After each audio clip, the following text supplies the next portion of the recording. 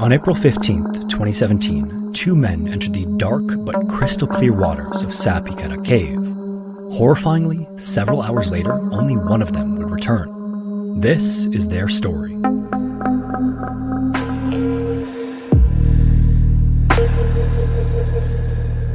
Visibility can go from perfectly clear to zero in an instant. Open water divers can flutter kick and move around as much as they want, but cave divers have to use different techniques to propel themselves.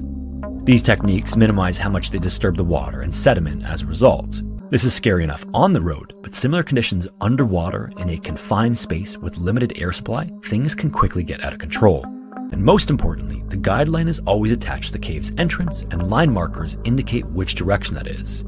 In silted out conditions, when divers can easily become disoriented without visual cues to help determine up from down, the guideline is a literal lifeline.